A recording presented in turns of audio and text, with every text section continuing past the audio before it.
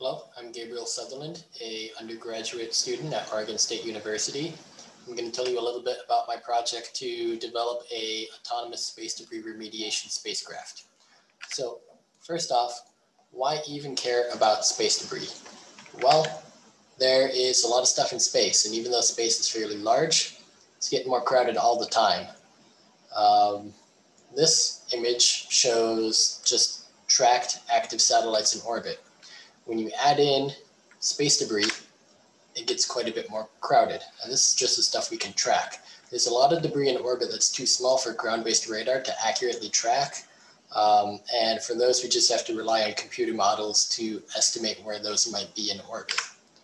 Um, and those can be generated by all sorts of things, including spacecraft collisions.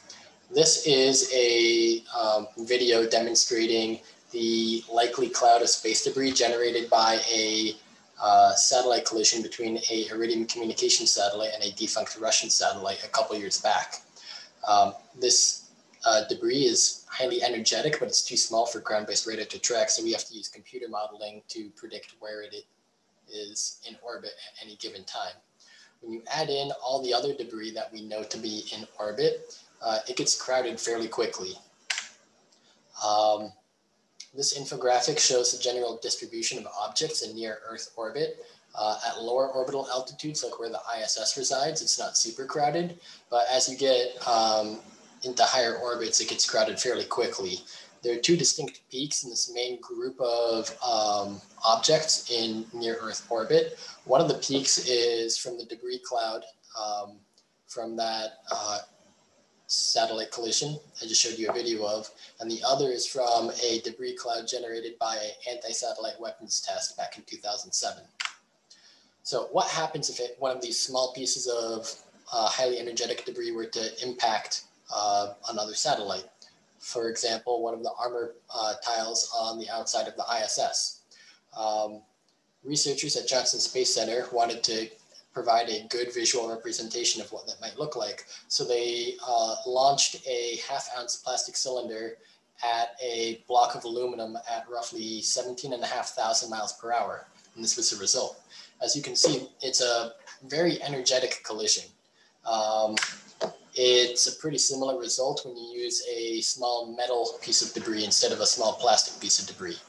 Um, if you get even smaller than that, though, um, for example, a micrometeorite or a piece of dust, uh, you can still uh, do damage, even with the debris being that small.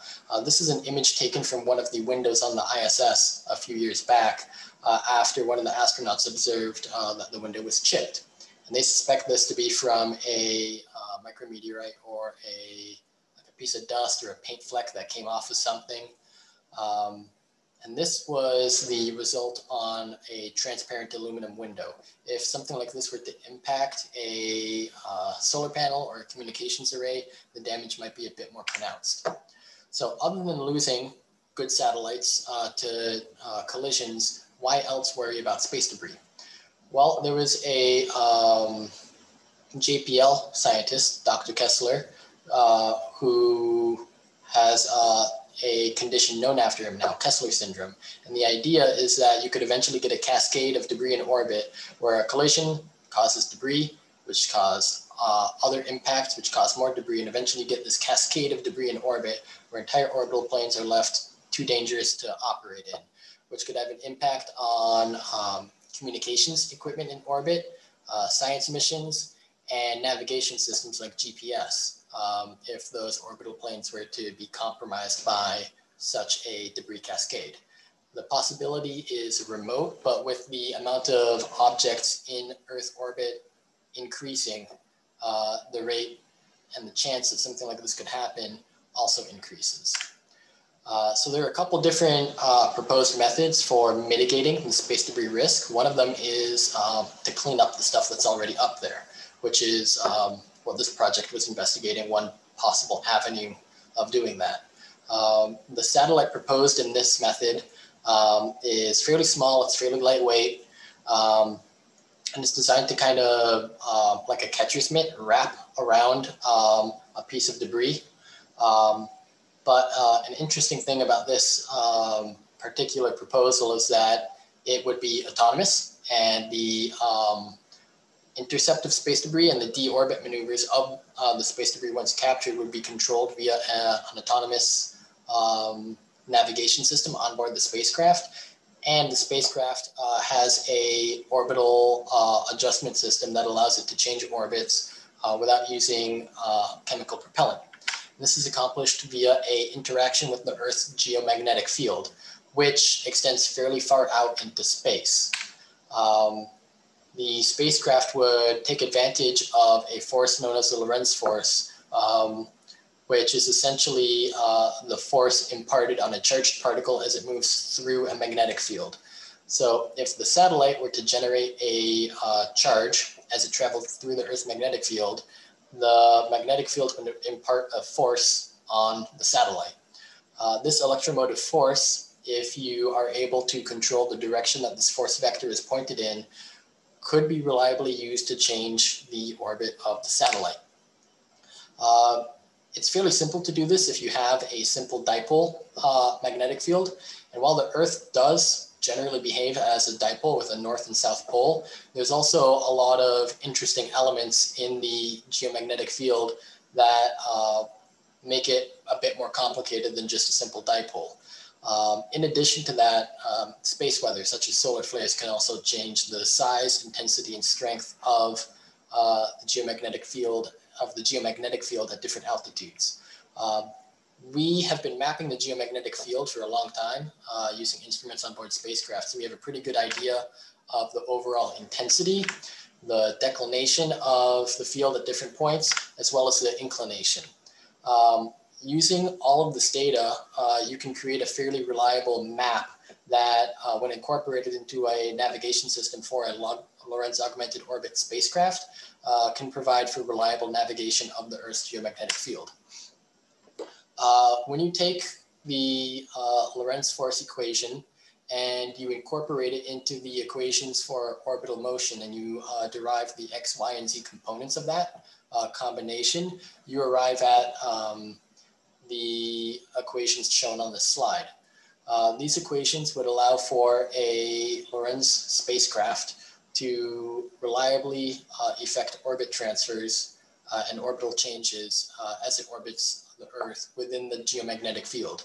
Um, however, computing those uh, orbital maneuvers would be fairly computationally intensive uh, to the point where since the thrust produced by uh, such a propulsion system is fairly low uh, and you need a fairly long uh, transfer window where you're uh, providing thrust, um, you would need to have um, fairly consistent telemetry connection with the spacecraft, which makes operating such a spacecraft very expensive.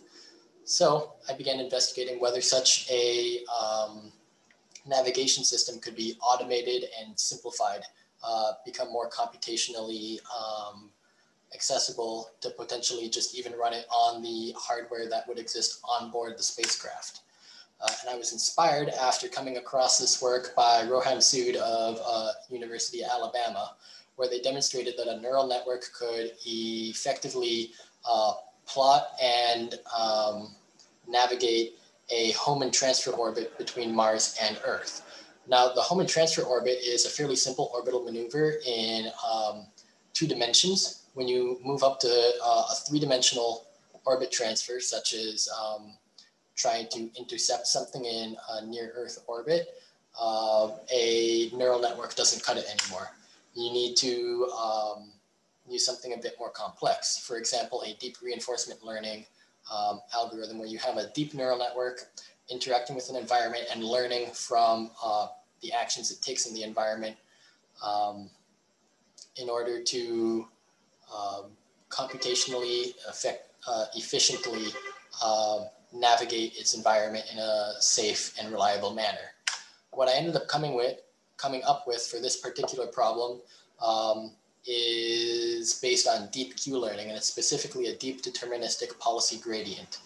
Um, the environment I've been working with is a physics-based uh, orbital mechanics simulation where I plot uh, a orbital intercept maneuver using the Lorentz force equations uh, for uh, orbital movement um, in one simulation. And then in a concurrent simulation, there's a uh, deep reinforcement learning agent that is trying to um, mimic essentially that same um, uh, orbital maneuver. Uh, the setup for this is fairly typical for a deep reinforcement learning um, algorithm um, using deep Q learning. Although there are um, one or two things about this particular setup that have allowed it to work fairly well in simulations. Um, the most significant of these is the choice to incorporate experience, replay, memory.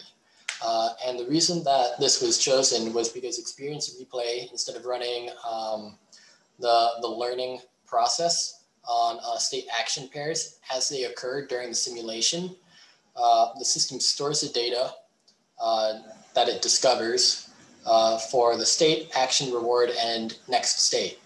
Uh, from there, the learning phase is then separate from gaining experience. There are two main advantages to this. One of them is that you are able to make more efficient use of previous experience by learning with it multiple times. Uh, this is key as gaining real world experience is extremely costly, such as in the example of uh, orbital mechanics for uh, orbital intercepts. Uh, the other key advantage for experience replay memory is uh, that you get better convergence behavior when you're training a function approximator, as we are here for Lorentz force uh, orbital equations. Um, in simulations, the agent has been trained to the point where it's able to uh, fairly reliably and fairly efficiently effect orbit transfers and orbit intercepts. Um, in this case, the agent was attempting to intercept a uh, satellite in geosynchronous orbit, uh, and it was able to plot an intercept uh, maneuver for, for that from low Earth orbit. Uh, you may no notice though that the uh, path that it's taking up to that higher orbital altitude, um, as it moves away from the Earth, it begins to get a bit wobbly. Uh, this is because the deep reinforcement learning agent is attempting to approximate uh, the path that was plotted out um, by the um, actual equations for uh, orbital motion. Um, it the, the more I've trained uh, this particular um, iteration of the deep reinforcement learning agent, uh, the smaller the magnitude of those deviations away from the optimal uh, path, uh, but they, they are still there. Uh, when you're talking about a spacecraft using uh, chemical propellant, where you have a finite amount of propellant you can bring with you, um, waste like that is unacceptable. But when you're talking about a spacecraft that's able to recharge its electrical systems using an RTG or solar, and then convert that electricity into more propulsion, um, waste like that is still an issue, but it less so. Um, ultimately, the goal would be to eliminate that altogether if possible. Uh, to train this um, agent, I've been running my simulations on um, a NVIDIA DGX workstation at Oregon State University. Uh, the goal is to ultimately uh, slim this down to the point where it would be able to run on hardware that you might see on a CubeSat in low Earth orbit. So to that end, I've been uh, conducting research and designing a uh, hardware layout for what you might see uh, for a satellite. I've taken inspiration from uh, the European Space Agency's PhiSat that they uh, launched recently, which utilizes Intel Movidius technology for Earth observation. Um, for testing the uh, debris capture mechanism, I will soon be testing it in a vacuum chamber that just arrived uh, this past month at Oregon State University. Um, and we will be testing both that and the navigation system on a uh, CubeSat that we will be manufacturing at some point in the next year. Uh, I would like to acknowledge uh, Dr. Bradley Camburn, uh, my colleagues Frank and Thanos, as well as my mentor, Dr. Nancy Squires. Thank you for your time.